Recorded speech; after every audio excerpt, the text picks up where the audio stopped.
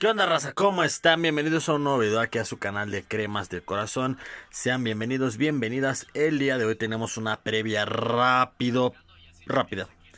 Para este partido que va a jugar América en contra de los Pumas de la UNAM. Sí, referente a el Tour Águila. Así como ahora en las vacunas pues los Pumas necesitan su segunda dosis. América apenas les puso la primera dosis a los gatitos, ganándoles 2 a 0 en la cancha del Estadio Azteca. Ahora en Gringolandia, donde estarán todos nuestros paisanos mexicanos y que abarrotarán el estadio para ver a las poderosas, gloriosas y majestuosas Águilas del América.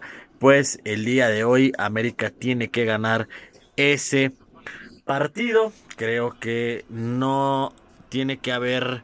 Eh, no tiene que haber como que tanta complicación. Pero hay algo importante que tengo que decirles y es que América va a jugar este partido con la mayoría de sus suplentes. Pumas, pues que yo sepa, no tiene ningún convocado. Entonces, por eso es que eh, pues están prácticamente completos. Pero me parece que América aún así tiene un equipo bastante, bastante competitivo y creo que debe de ganar este partido o no debe de perderlo pero eh, vamos a ver qué pasa el día de hoy el partido empieza a siete y media de la noche para que estén pendientes en el horario eh, como ya se los dije, forma parte del Tour Águila. Va a estar interesante el partido, va a estar bueno. Vamos a ver qué pasa.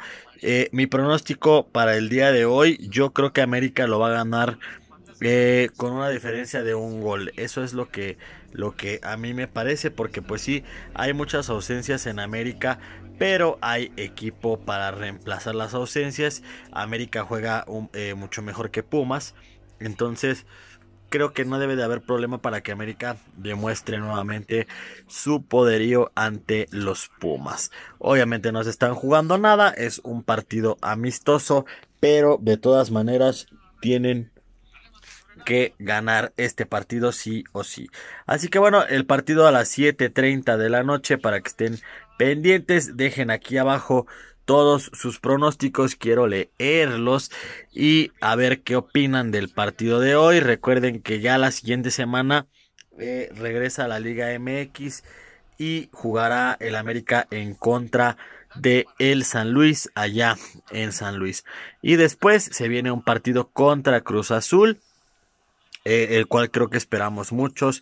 Eh, América obviamente tiene que salir con todo a ese partido. Recuerden que también el día 28 de octubre América enfrentará a Rayados de Monterrey por la final de Conca Champions. Así que bueno, les dejo este video corto, esta previa. La dirección la estaremos subiendo en la página para que chequen quiénes son los que van a saltar al terreno de juego el día de hoy. Espérenme porque se va a... Se me acabó la pila, ya conecté mi celular.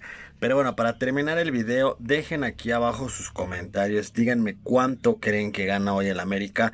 La verdad es que yo les digo que creo que ganan por un gol. Eh, incluso un 1-0 me parece buen marcador.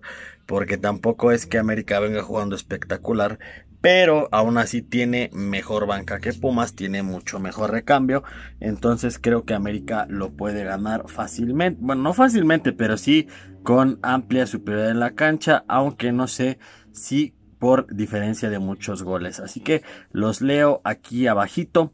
No sé si lo vaya a transmitir por Facebook, por la página, ya veremos, eh, a ver al ratito. Y obviamente, pues si ya están siguiendo la página en Facebook, pues sabrán y serán notificados cuando se suba el en vivo. Una cosa más, todos los videos que hemos subido eh, hasta el momento, como por ejemplo el de Mateus Doria, son videos donde nosotros tenemos información, donde nosotros tenemos eh, pues algo confiable y si nosotros se los estamos comentando a ustedes es porque existe la posibilidad. Y la verdad es que con el jugador de Santos Mateus Doria América sí, eh, sí tiene la intención de ficharlo incluso el partido que el partido, el torneo que pasó era prioridad para América traer un defensa central y él encabezaba la lista. Sin embargo, no se pudo dar por eh, muchas cuestiones. La cuestión que ya todos conocemos es que Baños es un asco para negociar. Entonces, por eso se complicó muchísimo lo de Mateus Doria. Pero yo sé que ahora América en este mercado de fichajes que viene quiere un central de calidad y quizá otro jugador eh, mexicano que venga a apuntalar eh, el mediocampo, el extremo. Eh, ya se ha hablado mucho de Jürgen Damm. Eh, no me parece tan mala opción, pero no, no es la mejor opción. Creo que Renato Ibarro, Ibarra recuperado es mucho mejor jugador que Jürgen Damm y aportaría más al América, aparte de que ya está acostumbrado a lo que es el Club América, ¿no? Pero bueno, vamos a ver qué pasa con todo esto. Ya saben que estos meses eh, son de, de subir videos de refuerzos, de quién viene, de quién se va. De las posibles salidas no sabemos nada todavía. Se mencionaba mucho lo de Roger Martínez a Boca Juniors, el, el torneo que, eh, que pasó.